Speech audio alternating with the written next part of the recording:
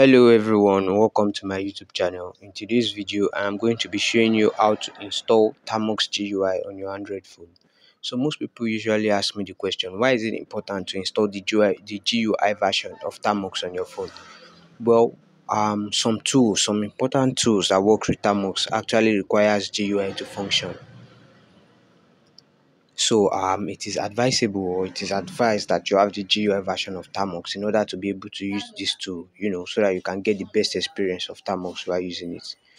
So uh, without wasting much of your time, let us get to the video.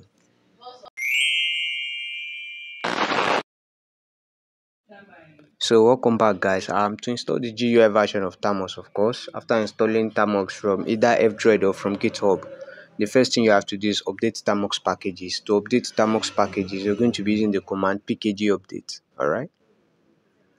Okay. Now that Termux has um, Termux packages has been updated, the next thing you're going to do is um you're going to install X11 repo. Now um for GUI to function on Termux, it requires X11, okay? So you're going to have to install X11 repo. Install X11 repo with the pkg install X11-repo command. And after installing X11 repo, the next thing we're going to do is we're going to install XFCE, of course. You do that with the command pkg install XFCE4. Then, of course, we're going to install um, the terminal, XFCE4 terminal.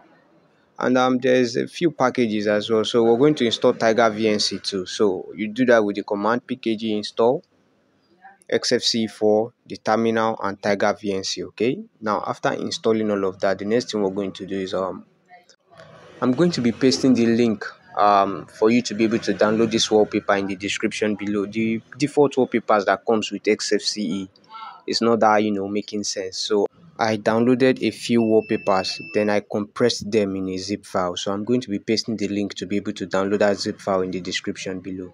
So as you can see, the tamoxw.zip, that is the zip file I'm talking about.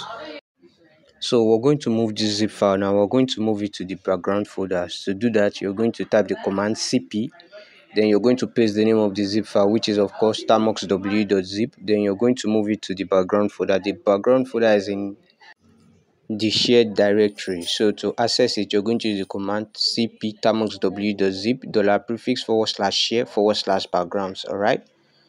And then um, if we cd into that directory now, you're going to find the zip file there as you can see. So we're going to unzip that file by using the unzip command. And then we're going to paste the file name and it has been unzipped. And if we type ls again, let me clear the screen clear and if we type ls again as you can see we now have um new files there. So i'm just going to clear this now and i'm going to move forward to the you know the connection aspect. So to to connect now i'm going to create a shortcut command for connecting okay?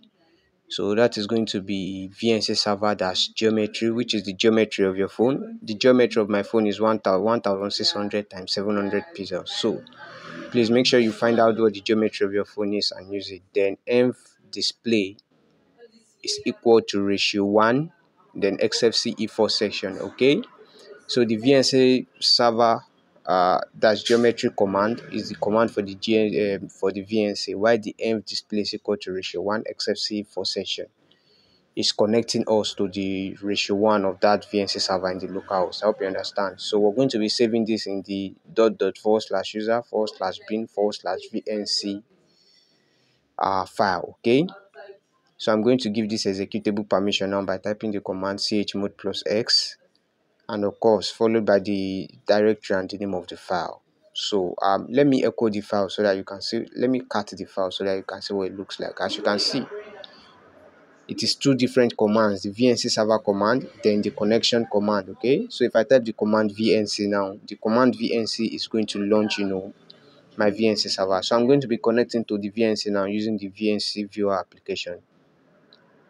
You're going to connect to localhost 1, which is of course the um, the you're connected to the localhost 1. Then you're going to name your you know you're going to name your connection. So I'm just going to name it Stamos XFCE4 and I'm going to scroll up and you know I'm, I want my picture quality to be high so I'm not going to leave it in automatic then I'm going to click on connect okay then if you're creating your VNC this thing for the first time, you're going to be requested to enter a password.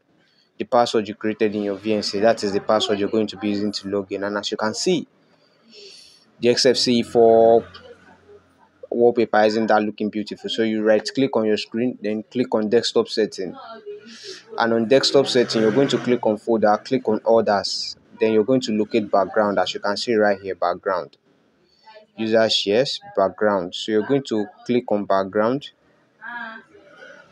Background and then you're going to click on open okay?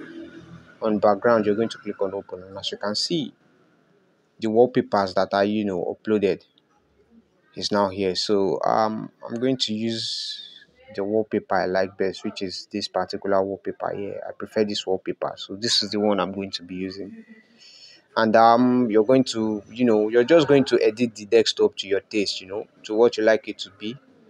And then um i forgot to install some other packages. Pkg install netsurf. Netsurf is a browser that you can use on you know you can use on Termux. So install netsurf and um the xfce app menu plugin. And um that is it. That is it man. With a few more settings okay? Just arrange your desktop the way you like it the way you prefer it okay? And then the next thing i'm going to do is i'm going to change the you know the the style of this windows icon. So to do that you're going to go to settings you're going to go to appearance. And when you're on appearance you're going to click on icon okay? Icon and i want to change it from adwaita to movix okay? I think that one looks a little bit better and then the most important part of this is always making sure you kill your vnc server when you're done using termux okay? So to kill your vnc you're going to use the command let me clear this screen so that you can see it well. You're going to be using the command vnc server dash q then ratio 1 which is the ratio of your local host. Whenever you want to connect again you can always use the vnc command to connect. And when you're done you can always use the vnc server dash q command to you know um, end the connection. So um, that is going to be all for this video. Um, thanks for watching and i'll see you all in the next video. Goodbye